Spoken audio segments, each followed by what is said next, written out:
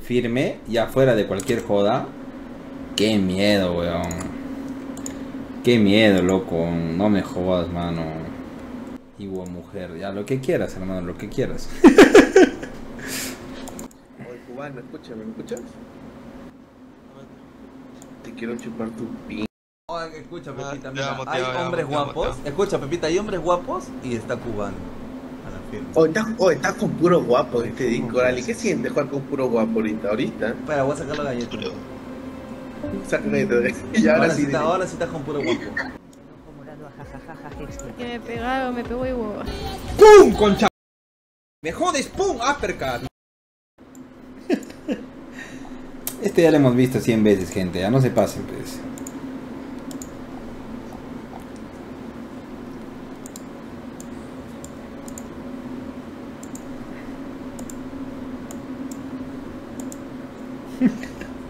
A la mi-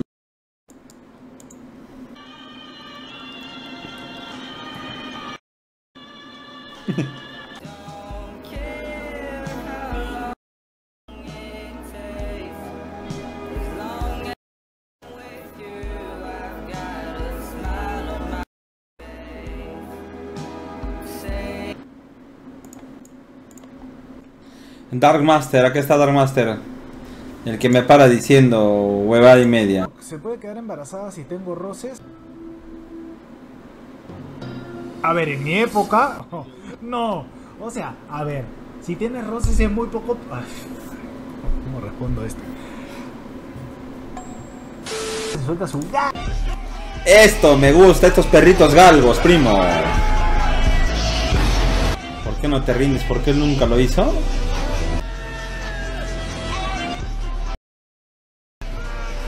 ¿Qué tanto es ese perrito galgo? Mira, hoy. Dios, ese perro, primo. Mira ese perro galgo. Ese galguito mínimo 500 de los verdes. Sí, mínimo. ah. Ese galguito sí lo vale, ah, ese sí me lo compro, papi. Sobre la infidelidad de la madre de sus hijos, el Cuto Guadalupe señaló que ya conversado con Charlín Castro y que ya la perdonó. Además, resaltó que la fe del Cuto sigue intacta. ¿Qué hago? La odio, la gratitud está por encima de todo. La soberbia, la arrogancia no te lleva a nada.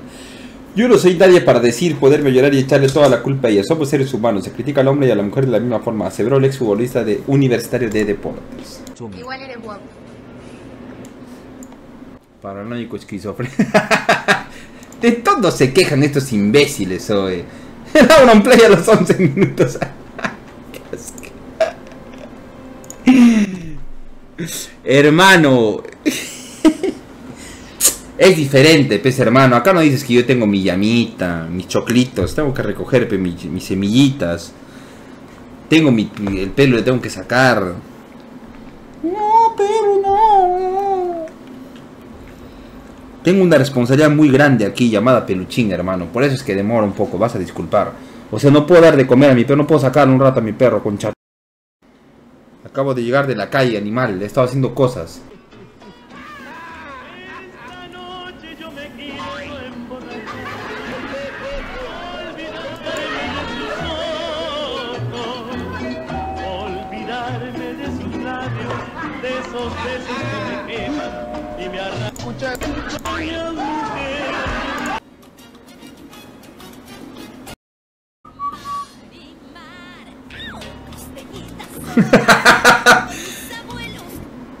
está go Oye, está medio gozo, creo. Le ha hecho gozo su timing. Gente, perdí el control.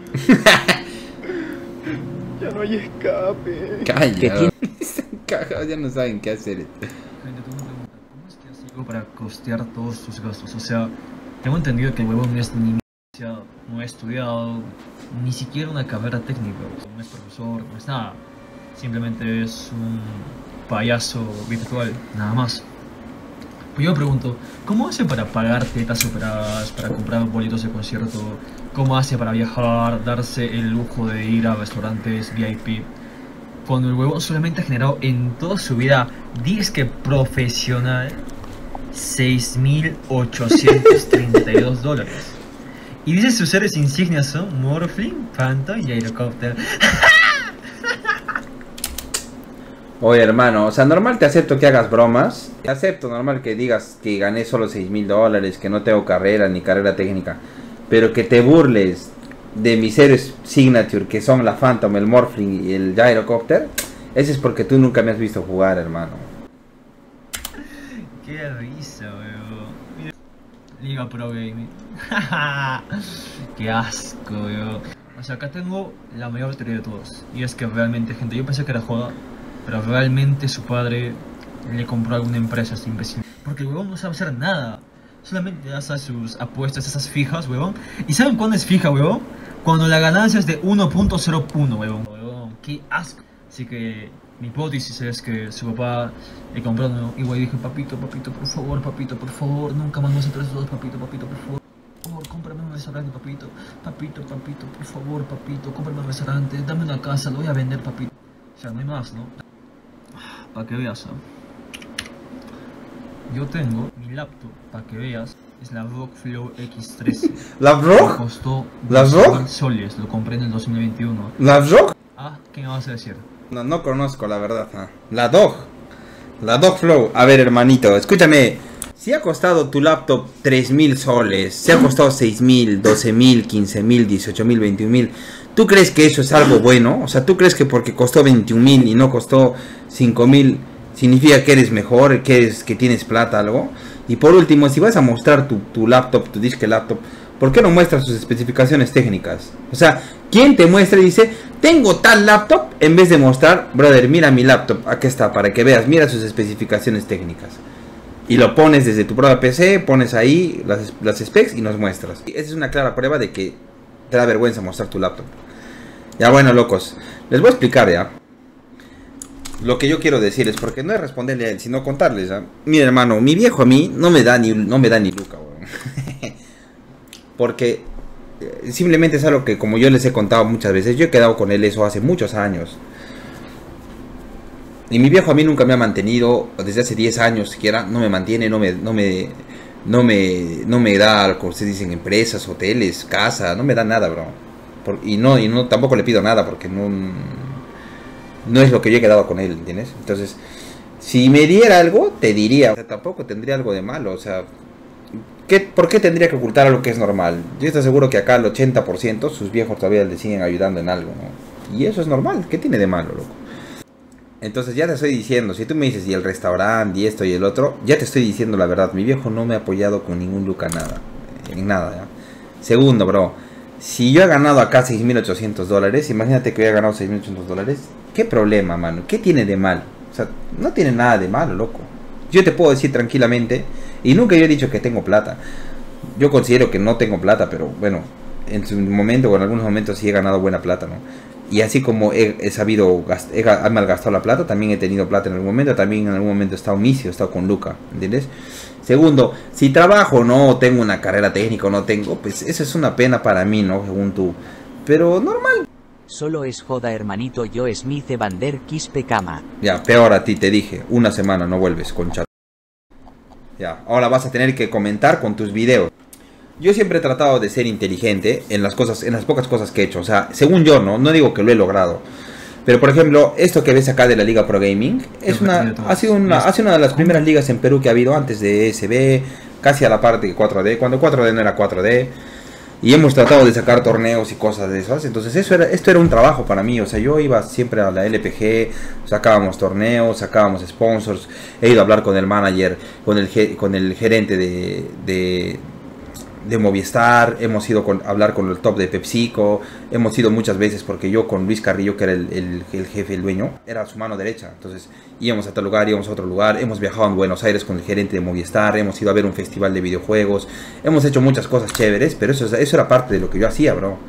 Entonces, yo, así tú digas que no he hecho nada, lo que sea, a, a pesar de no tener nada, como tú dices, no, no soy nadie, soy un don nadie, igual prácticamente me he inventado mi propio trabajo o trabajo de, las, de algo que a mí me gusta, ¿no? Y lo he logrado bien, lo he hecho chévere. ¿Qué hace Smith Evander Quispe Kama, no sé, en su trabajo día a día? A ver, vamos a tratar de no menospreciarlo y tratar de adivinar qué hace. Porque primero, está más que claro que este es mi CPP. Segundo, asumimos que este huevón no es profesional. ¿Por qué? Porque por su forma de hablar, por cómo es, cómo se trata de jactar, que trata de mostrar su Asus ROG, ¿no? Eh, si él fuera profesional, ya lo hubiera dicho, ¿no? Hubiera agarrado en cualquier video hubiera dicho, yo soy ingeniero de minas. A lo mucho tendrá una carrera técnica, ¿no? Entonces, ¿cuánto gana Smith de Van der Quispe ahora al mes? Vamos a asumir, ¿cuánto está el sueldo mínimo? Como mil lucas, ¿no es cierto? Vamos a asumir que Smith de Van der Quispe trabaja, si es que trabaja, vamos a ponerle que ya es trabajador, que es trabajador, que está en su planilla y que es un técnico que pues tiene un trabajo estable y bueno, o sea, no estamos siendo cagones, no estamos diciendo que es un vago, digamos que siendo prudentes, tratando de no ser cagones, que gana 2.000 lucas. ¿Ya? 2.000 lucas. ¿Está bien? Digamos, ¿ya? A ver, mire hermano, te voy a decir algo que nunca le he dicho a nadie, ¿ya?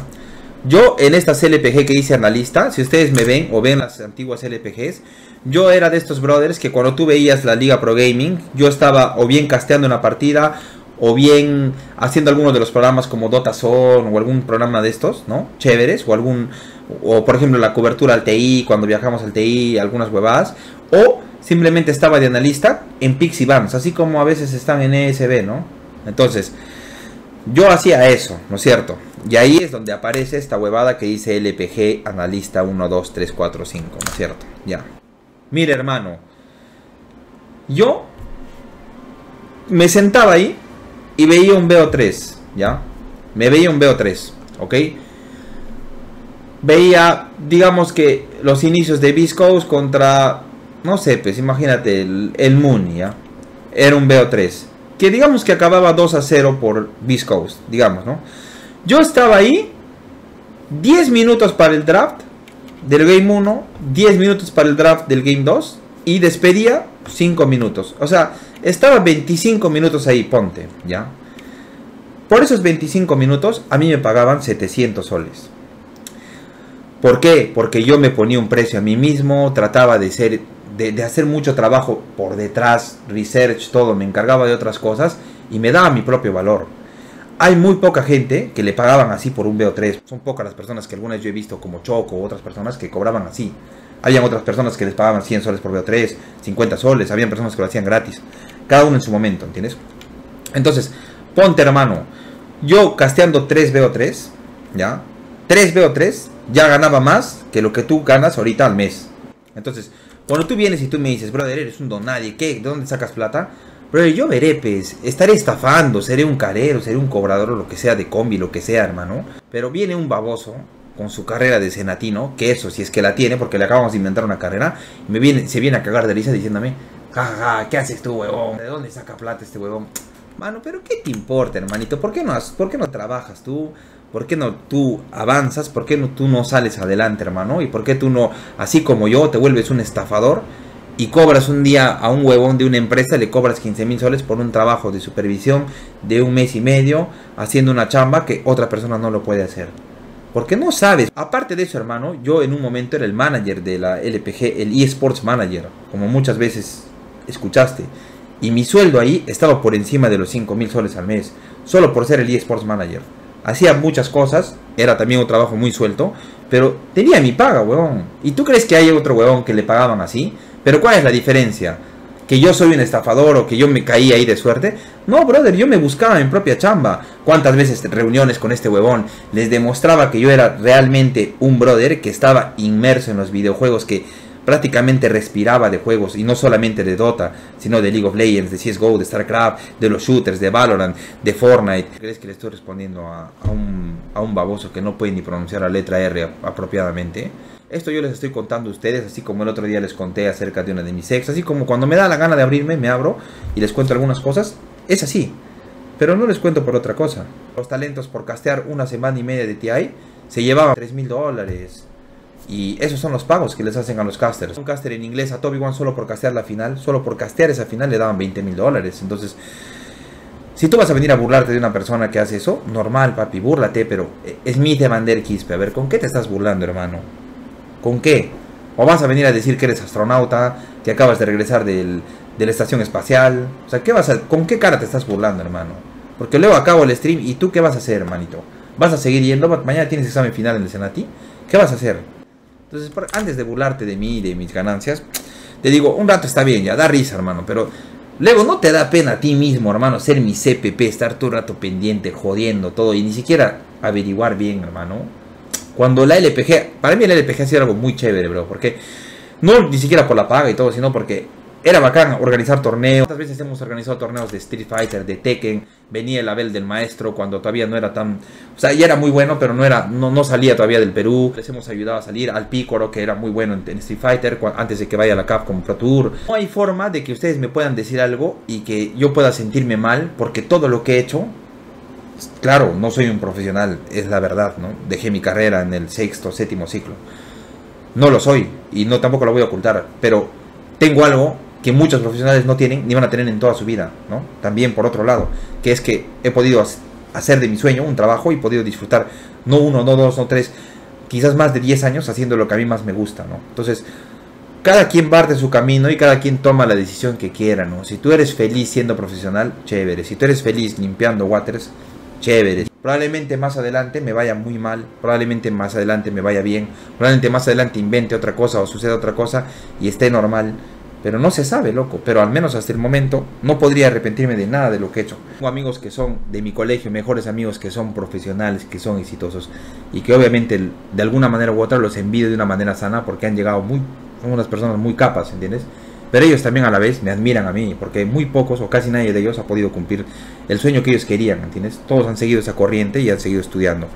Y les va mucho mejor por algún lado, pero por otro lado también, sí, obviamente me envidian. Pero tú acabas stream y ¿qué tienes que hacer, hermano? Probablemente tienes que ir a tu estera, tienes que ir corriendo rápidamente, tienes que tomar tu mototaxi, tienes que ayudar a tu viejo a recoger los toldos porque mañana les va, bla, bla, bla, tienes que ir a tapar a los, a los cuyes porque les va a pasar la helada. Tienes que hacer muchas cosas, hermano. Entonces, ¿tú crees que yo me voy a sentir mal si yo sé la realidad de la mayoría de la gente aquí? O sea, ¿tú crees que realmente un, un, un huevón que a mi lado es un clown, es un payaso, me va a hacer sentir mal? Como en algún momento, por ejemplo, le paré bronca al, al Invoque Dota, ¿no? Hasta que se puso... ¿no? Entonces, mano, es así la vida.